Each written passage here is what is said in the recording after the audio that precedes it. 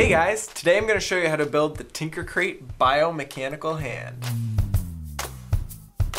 In your kit you get a laser cut hand made up of a palm, some large finger pieces, medium finger pieces, and fingertips, brads, eye screws, some elastic cord, string, sticky foam fingers, and you also get some bonus string and straw mechanics projects. Start building your hand by peeling off a sticky foam finger. Attach it to the palm, making sure that the straight line on the base matches up with the edge of the palm. Flip your hand over and stick a large finger piece onto the foam, snugly next to the palm. Stick the remaining two finger pieces on, making sure that they are snugly pressed against one another. Try gently bending your finger, then press it the other way. It should remain straight. Twist an eye screw into the small hole on each finger segment. Keep twisting until the screw is about to poke through on the other side. Tie the end of your elastic cord onto the eye screw on the fingertip. Measure the cord down to the bottom of the palm and cut it with your scissors.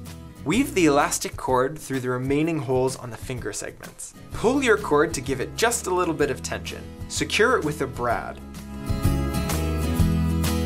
Then wrap your cord to keep it in place. Take your string and measure from the fingertip down to the bottom of the palm and back up. Then cut it with your scissors. Tie the string to the fingertip and then slide it through the other two eye screws. Test your finger by giving the string a slight pull.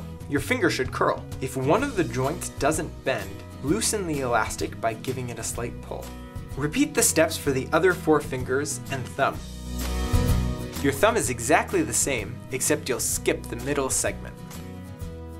Tie a loop at the end of each string just below the palm for your fingers. Stick a finger through each one of the string loops and try moving your hand. Adjust how each finger curls by changing the tension in the cord above each joint. High five, you're done with your biomechanical hand. Hope you guys had fun building your biomechanical hand. Check your magazine for how to build the Straw Mechanics project and share with us on Facebook. I'll see you next time.